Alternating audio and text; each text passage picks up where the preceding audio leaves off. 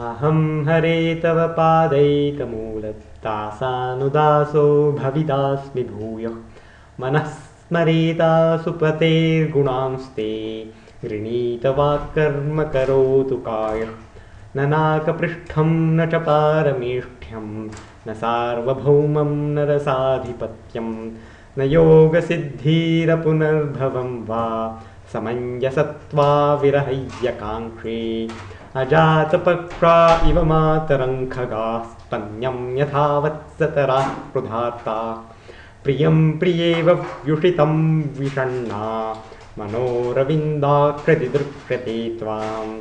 ममोत्तमश्लोकजनेषु सख्यं संसारचक्रे भ्रमतः स्वकर्मभिः त्वन्माययात्मात्मजगदार्गेहेष्वासक्तचित्तस्य न नाथ भूयात्